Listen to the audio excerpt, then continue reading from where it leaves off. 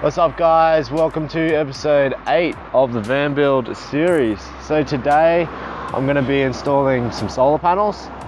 I've got next to me a 20 watt solar panel, and the big one here is a 100 watter.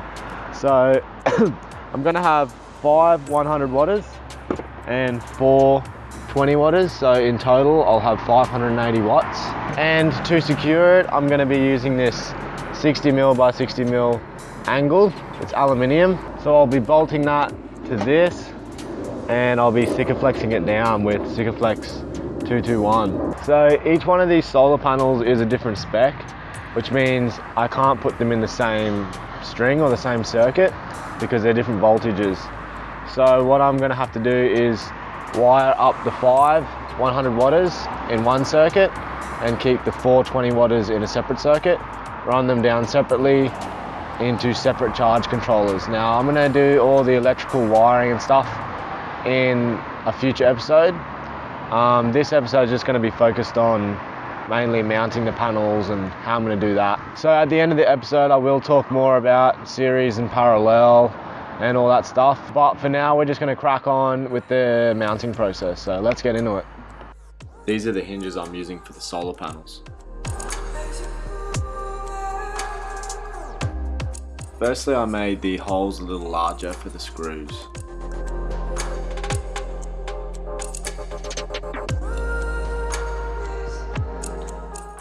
I then measured up and drilled all the holes for the hinges.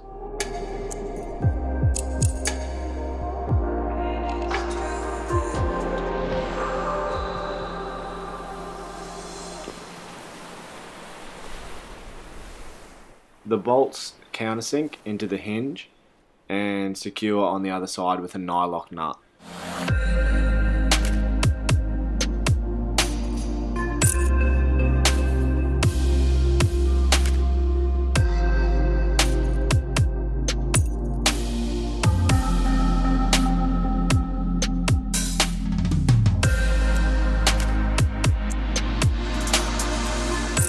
Next I marked up and drilled the holes in the 60 by 60 mil angle.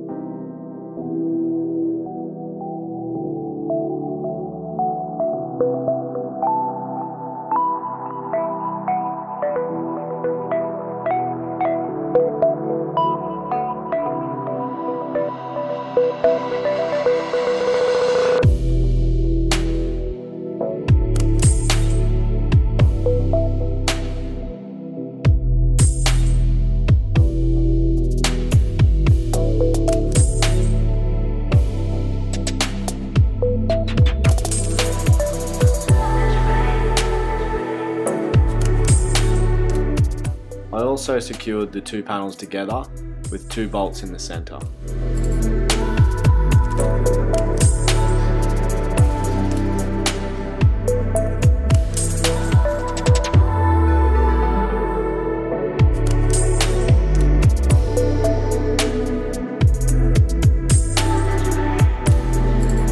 Right, so the problem that I'm running into is that when this is flipped upside down and I'm putting it on the roof, I'm not going to be able to get my fingers under here to these bolts to undo them.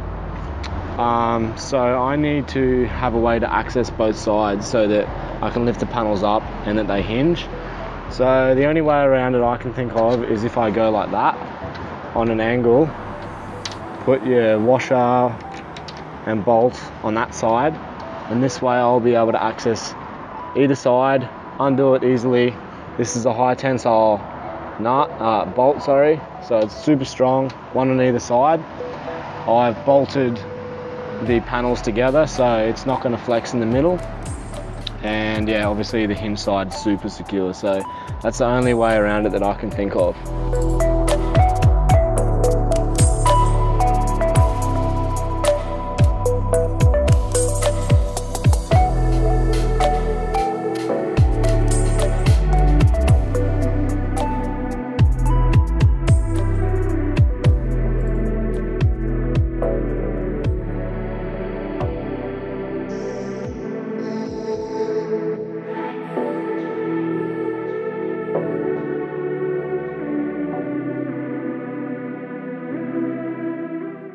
Once the two corner bolts were mounted, I removed the two inside bolts. And now I just repeated this process with all the other panels.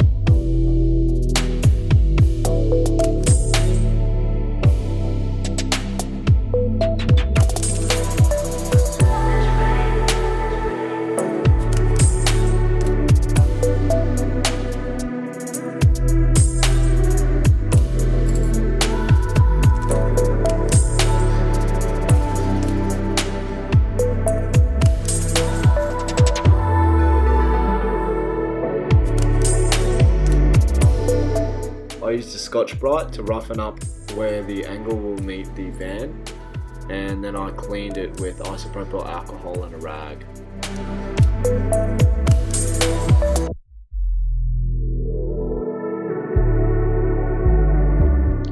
And I did the same process on the bottom of the angle for the solar panels.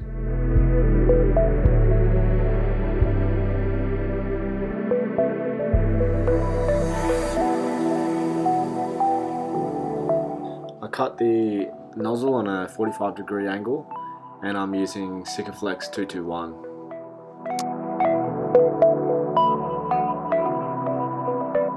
I applied a generous amount of Sikaflex and applied it in a zigzag configuration.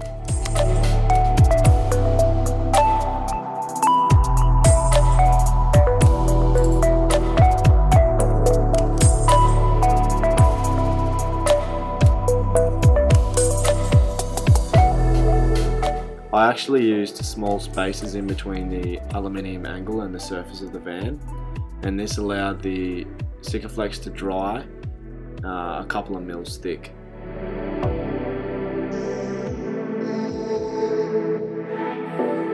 I had to cut down one side of the aluminium angle so that it could fit.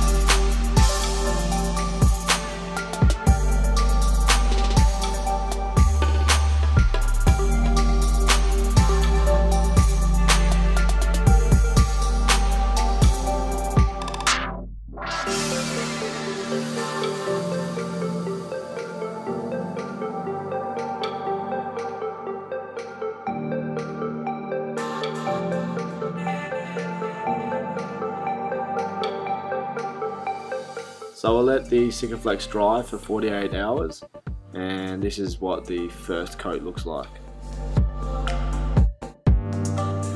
I then applied a second layer of Sikaflex so that all the aluminium angles adhere to the van super strong.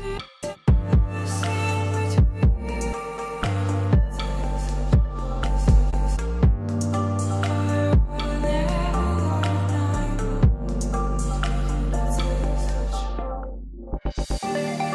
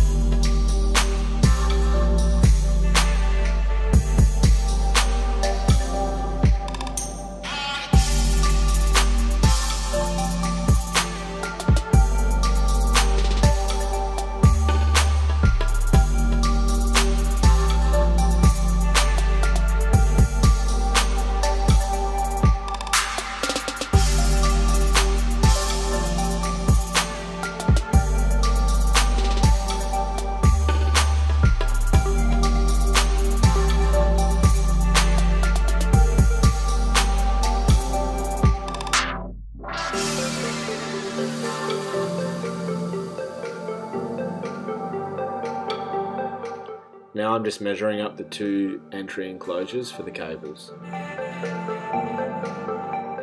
I drilled a hole with a 25mm hole saw.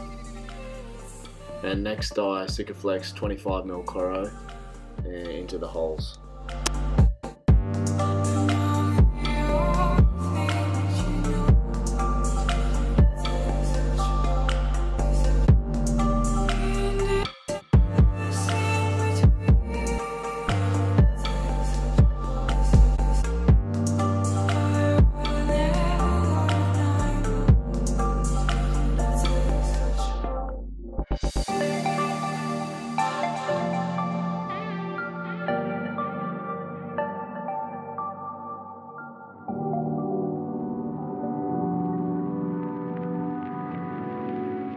I then applied a generous amount of Sikaflex to the bottom and adhered it down.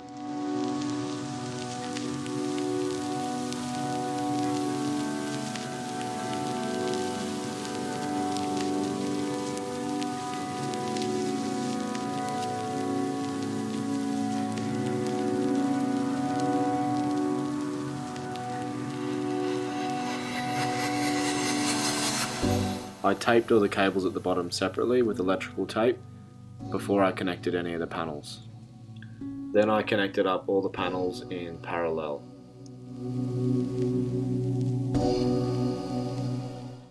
I had to wire up some of the MC4 connectors, which is what I'm doing now. So I'm just wiring up the positive and the negative and then plugging it all together.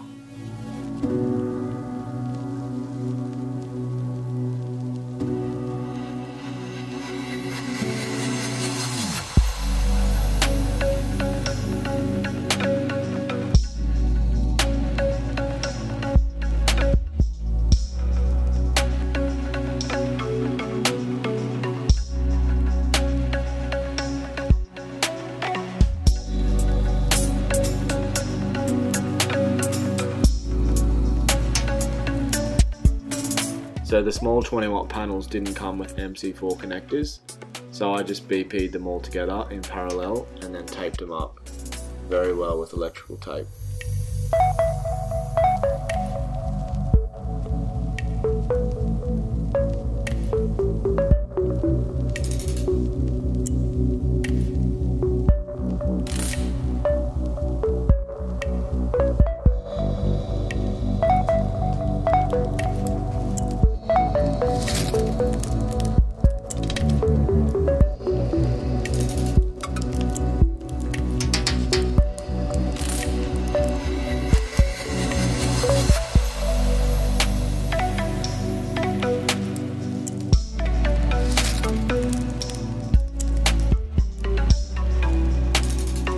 Alright, so everything's wired now.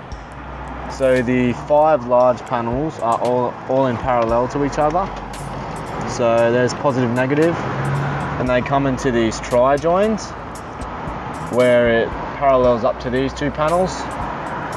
So those three panels are joined into this tri-join and then that goes into an outgoing lead which goes over to another tri-join and parallels over to those two panels.